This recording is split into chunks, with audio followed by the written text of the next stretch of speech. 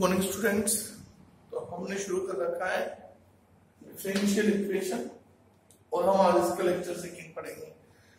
First lecture में हमने उसको सॉल्व करने का पहला मेथड पढ़ा था।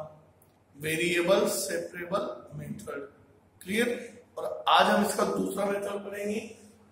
Differential equation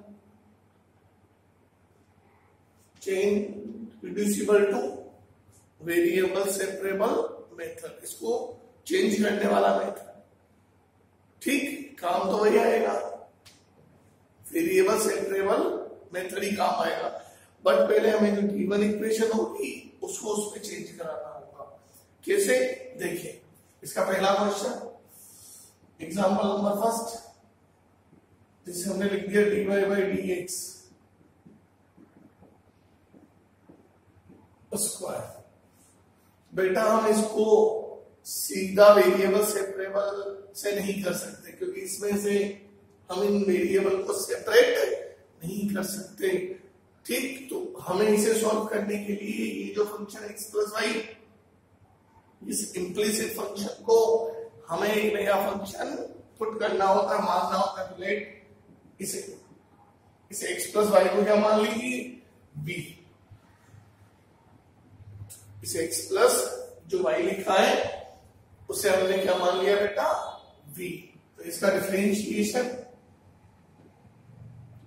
with respect to x क्या हो जाएगा? One dy D X dv D X okay इससे dy डी एक्स की value dv D X minus इसको यहाँ पे पुट कर दिया। dv by D X minus one और इसकी जगह बी स्क्वायर इससे ये क्या बन गया? dv by D X equal to B square plus one यानी जो हमारा question dy by D X में था, जो derivative dy by D X था, वो डेरिवेटिव यहाँ पर dv बाई डी एक्स हो गया। और अब क्या काम कर जाएगा? बाय वेरिएबल सेपरेबल मेथड क्या हो जाएगा? dv upon v square plus one equal to dx और इंटीग्रेटिंग बोथ साइड्स इसका इंटीग्रेशन इसका इंटीग्रेशन ये क्या हो जाएगा आपका? Tan inverse B X plus C B equal to tan X plus C और जहाँ बी लिखा है, वहाँ क्या लिख देंगे? X plus Y tan X plus तो इस तरह से इस इम्प्लीसिट फ़ंक्शन को एक नया फ़ंक्शन मानकर हम इसे सॉल्व करते इसीलिए इसका नाम क्या दिया जाता है? Differential equation change reducible to VAC clear तो काम वही है, मेथड वही है। और देखिए example number second dy by dx equal to x plus y plus 1 upon 2x plus 2y plus 3 okay then हम इसका सेपरेशन डायरेक्ट नहीं करा सकते। ठीक तो क्या करें? D Y by D X X plus Y plus one इसमें से क्या कॉमन है? 2 x plus y plus okay और वही लेट इस एक्स प्लस वाई को क्या मान लीजिए? बी इसका differentiation with respect to X one dy by dx equal to dv by dx. इससे dy by dx की value dv by dx minus और इसे वहाँ करा दें। dv by dx minus one equal to v plus one two B plus ठीक आगे calculation इस वन को उधर भेज दीजिए। By D X equal to B plus one two B plus three plus तो D V by D X equal to इसका LCM ले लीजिए। टू वी प्लस थ्री तो ये कितना हो जाएगा?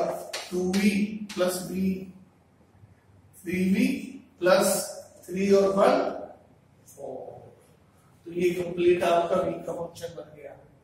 कंप्लीट आपका वीक का फ़ंक्शन बन गया।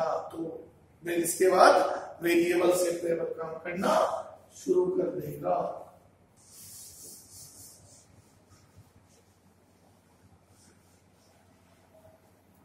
इसके बाद में क्या लगा देंगे हम? बाय वेरिएबल सेपरेबल मेथड उससे पहले एक चीज़ और यहाँ पर भी दोनों में भी है तो इनका जो कोफिशिएंट है, उसको इक्वल कर लो। बाई डी एक्स ऊपर से थ्री कॉमन ले लो। सेम सेम पावर में है तो इनके कोफिशिएंट बराबर कर लीजिए।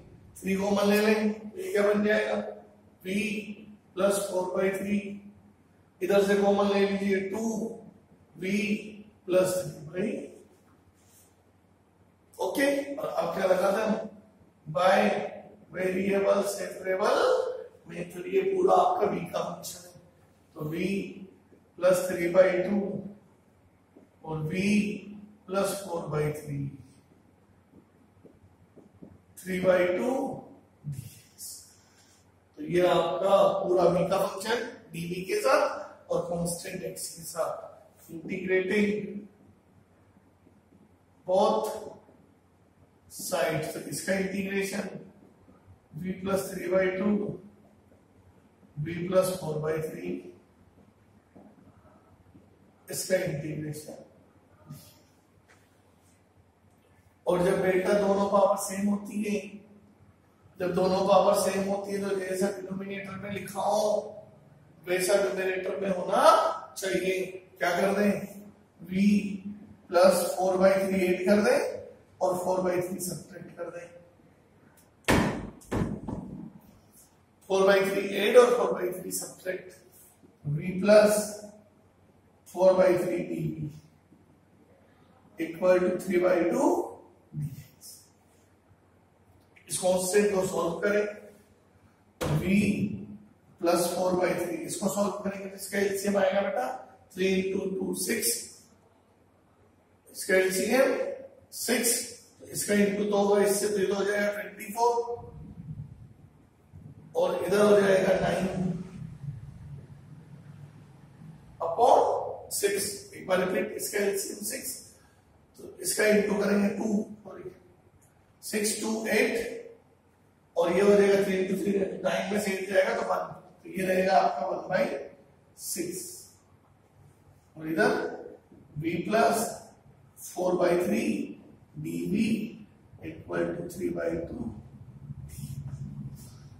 इसको तो इसको लगा तोड़ दीजिए तो this upon this one plus one by six B plus four by three D B equal to three by two करा दीजिए इंटीग्रेशन वन का integration B one by six इसका integration low B plus four by three three by two X plus जहाँ b लिखा हुआ है, उसकी जगह पर x plus y one by six log x plus y plus four by three minus three by two x plus तो ये कितना हो जाएगा? X और ये थ्री बाई टू एक्स तो हो जाएगा one by two Y minus one by two X one by six log X plus Y plus four by three equal to ये इसका फुल एंड फाइनल आंसर तो एक बार दोबारा फिर से रिपीट करते हैं। इस पर डायरेक्ट वेरिएबल सेपरेबल को हम यूज़ नहीं करा सकते। तो इस तरह से ये जब भी x प्लस वाई कॉमन हो, ये x माइनस वाई कॉमन हो अगेन रिपीट जब भी x plus Y x x minus Y common हो तो इस फ़ंक्शन को मान लिया हमने, b, इसका डिफरेंशिएशन करा। इससे dy बाई dx की वैल्यू निकाली। अरेंज करा ये बना इसमें से थ्री और इसमें से टू कॉमन लिया और फिर वेरिएबल सेपरेबल लगा इसका इंटीग्रेशन हमने शुरू कर दिया। तो जो इंटीग्रेशन है, वो कोई ज़्यादा बड़े बड़े नहीं होते छोटे छोटे इंटीग्रेशन लिए